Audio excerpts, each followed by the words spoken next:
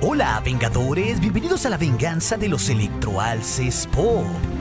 La venganza de los electroalces Pop. La idea del Spider-Verse en los cómics fue alucinante, y saber que ahora esto también va a ser parte de las películas live action es increíble. Poco a poco se revelan más filtraciones y noticias de todo lo que veremos en el Spider-Verse del universo cinematográfico de Marvel, y aquí te traemos todavía más. Y por eso en este video te traemos una jugosa filtración de Spider-Man No Way Home y el Spider-Verse. Spider-Man se está preparando para que la locura se desate dentro del universo cinematográfico de Marvel. Esta idea de los multiversos es algo que dentro de los cómics se hace con frecuencia y quizá una de las historias más icónicas de esto es la del Spider-Verse, ese masivo encuentro entre los Spider-Mans de diferentes dimensiones unidos todos para luchar en contra de una gran amenaza. Si hace algunos años nos hubieran dicho que todo esto es lo que Marvel estaba planeando para sus películas y para este Spider-Man compartido que tiene con Sony, no lo hubiéramos creído, pero ahora ya es una realidad. Esta película nos va a traer elementos de otros universos,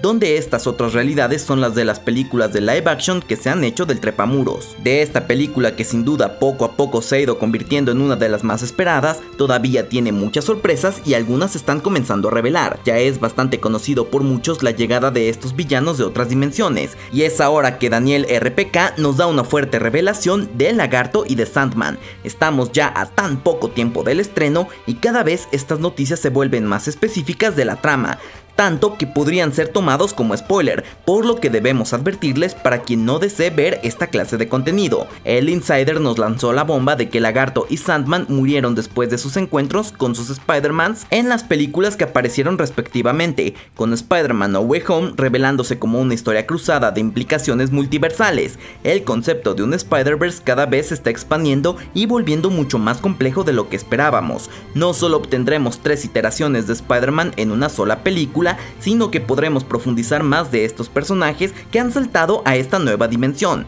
claro, con una revelación de lo que han estado haciendo durante los últimos años.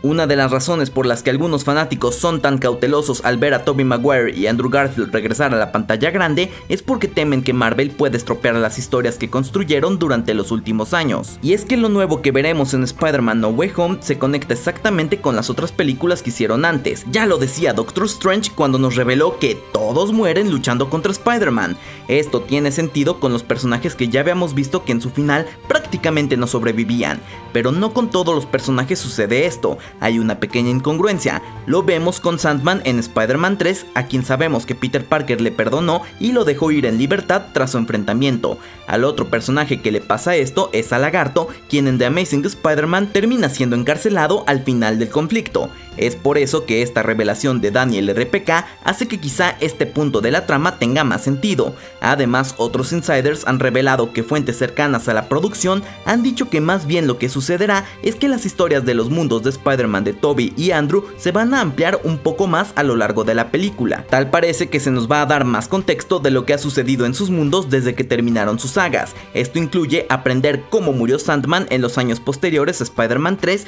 y cómo también murió el lagarto después de The Amazing Spider-Man. Esta es una manera de darnos un poco más de historia a todos los que hemos sido fans del personaje y de sus adaptaciones, el que nos den la oportunidad de conocer más de lo que ocurrió al finalizar estas cintas. La verdad es que John Watts tuvo la ardua tarea no solo de desarrollar su propia versión de Spider-Man, sino de continuar y construir encima de las versiones anteriores que ya son estos personajes tan reconocibles en la cultura pop, y para poder dar la misma coherencia a todo esto, también se rumora que los exdirectores de estas películas que son Sam Raimi y Mark Webb, fueron consultados durante el desarrollo de estos personajes. El nivel de detalle que se le está poniendo a esta película, la verdad es que es impresionante. Y por otro lado, otra filtración también por cortesía de Daniel RPK, también por su publicación de Twitter, nos revela cómo se había considerado que para esta nueva película también tuviéramos el regreso de Emma Stone como Gwen Stacy y de Kirsten Dunst interpretando a Mary Jane Watson, esto como parte de los muchos cameos que tendremos en este choque de otras realidades.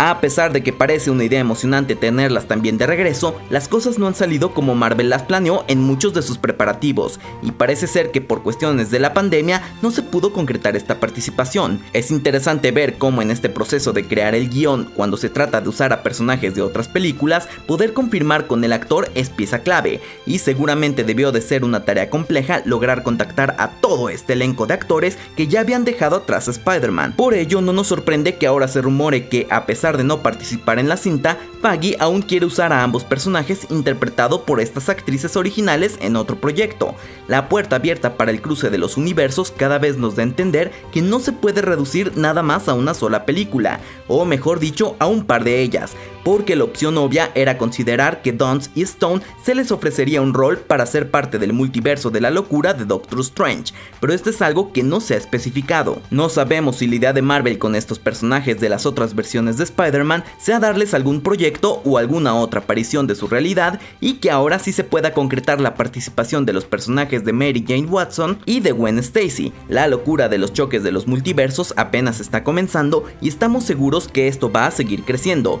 Esto se vuelve mucho más interesante cuando recordamos que la actriz Kirsten Dunst recientemente declaró que no diría que no a regresar a Marvel, algo que mencionó en una entrevista que le hizo Variety, una pista que si Marvel no llegó a negociar con ellas, ya se está por lo menos abriendo la puerta. Por otro lado, en otra noticia de todo este Spider-Verse, el insider Daniel RPK a través de su cuenta de Patreon les ha revelado que Sony está haciendo películas en solitario de Sandman y también una de Rhino. La idea suena peculiar, sobre todo porque es un poco la manera en cómo el universo de Sony ha crecido con sus personajes y que ahora Marvel también quiera comenzar a crear sus villanos con películas en solitario, nos habla de hacia dónde quieren ir estas empresas. A Sony ya hemos visto cómo nos ha traído Venom y cómo más adelante también llegará Morbius y Craven, todos preparándose para quizá algún día enfrentarse en la gran pantalla contra Spider-Man, tal como en muchas ocasiones lo han hecho dentro de los cómics.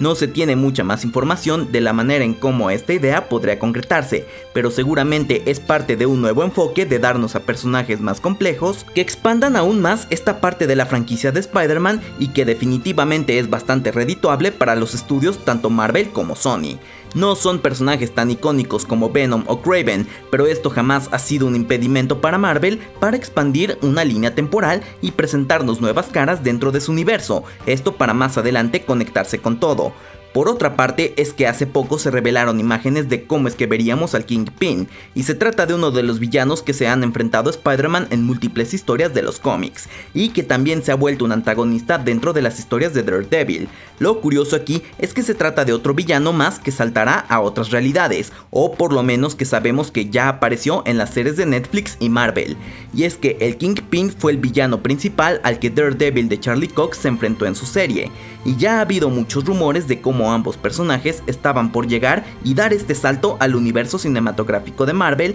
pero ahora las cosas ya se han puesto mucho más en serio, por lo menos en este caso en relación al Kingpin. Y es que recientemente se filtraron unas imágenes en donde se puede ver a este personaje con un saco blanco y donde se ve caracterizado al actor con bastantes kilos de más que parece que fueron generados por CGI. Esta foto, a pesar de haber sido publicada por Daniel RPK, no podemos enseñarla porque Marvel y Sony están muy exigentes con este tipo de filtraciones. Pero ya saben que aquí les puedo enseñar un pequeño dibujo de cómo se ve esta filtración y si lo googlean seguramente les aparecerá. A estas alturas seguramente no es muy complicado buscarla en internet. Esta es otra nota que debemos de mencionar con una advertencia de spoiler porque a pesar de ser más especulativo podría definirse como spoiler para muchos. Ahora, no solo resulta evidente ver cómo es que se verá a este personaje de dentro del MCU, sino que el insider Daniel RPK nos revela que veremos a este personaje en las escenas postcrédito de Spider-Man No Way Home, quizá llegará para complicarle más la vida a Peter Parker. Su participación dentro de la serie de Hawkeye seguramente no está tan lejos de suceder. La serie ya se estrenó y por como se ha pintado la trama con la llegada de Echo, la llegada del Kingpin no parece algo muy complicado de desarrollar. De hecho, toda la trama encaja perfecto con su cameo, pero ahora descubrimos que para este rey del crimen se le tiene preparado un papel mucho más grande, y No Way Home será el primer paso. Por lo que se ha especulado es que la caracterización del personaje se requiere que se parezca mucho más a lo que se ve del personaje en los cómics. Y por último, si estamos hablando de multiversos, tenemos que hablar más de la participación de Tobey Maguire y Andrew Garfield en esta película, y es que ahora Daniel RPK reveló que los tres Spider-Mans estarán 30 minutos en la pantalla. Se había especulado que iba a ser un pequeño cameo, pero ahora nos dicen que son 30 minutos, mucho más tiempo del que hubiéramos pensado. Aunque bueno, tomando en cuenta que va a ser una película algo larga, tampoco es tanto porcentaje de la película. En spoiler de la trama de lo que comenta el insider, es que parece que la primera vez que Tom Holland los vea será como científicos que buscan ayudarlo con todo el caos que se generó por el choque de los multiversos. Esto es una revelación increíble de saber que toda la idea de extender estos universos es mucho más probable con tanto tiempo que en la cinta. Esta es una película que parece ser súper compleja por todas las partes que la conectan, así que era obvio que el encuentro de los Spider-Mans tendría más tiempo porque no solo serán parte clave de la película, sino que es lo que más nos emociona a muchos de esta cinta, aunque de igual manera si te interesa conocer quién es el sexto siniestro en Spider-Man No Way Home, te lo dejaremos aquí en las pantallas finales junto con otros videos. Y como siempre acabas de ver la venganza de los electroalces pop, lo que te hace a ti un vengador. So say we all.